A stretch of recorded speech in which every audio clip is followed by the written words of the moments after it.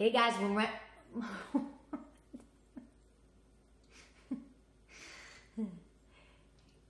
Hey guys, welcome back to my channel. Remember, if you like it, subscribe, please tell your friends.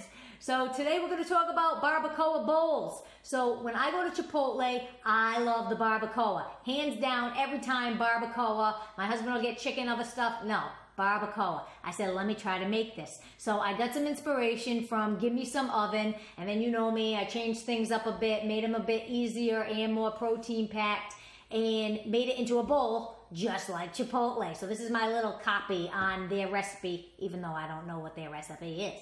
But super easy. Each bowl has about 432 calories, 29 grams of carbs, 12 grams of fat, and 50 grams of protein straight to the dough paste.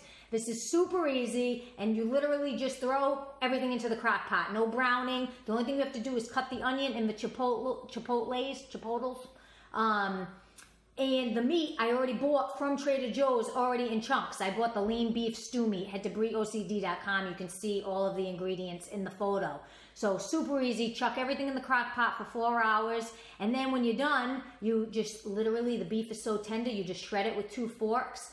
And then you compile the bowls. I did saute the bell peppers for like five minutes just and put them in a Tupperware aside and then you compile the bowls, bada bing, bada boom, you're done. So easy. It's gluten free because I use white rice. If you want to reduce the carb content, just either get rid of the white rice or do about a quarter cup instead of a half a cup. In bowls, you can do this as tacos, you can eat it plain, you can put it on a pizza, make a burrito. The sky is the limit with this shredded beef. It is super easy and delicious. So if you like my channel, please give me a thumbs up and subscribe. Please tell your friends and stay tuned for a recipe recap right now.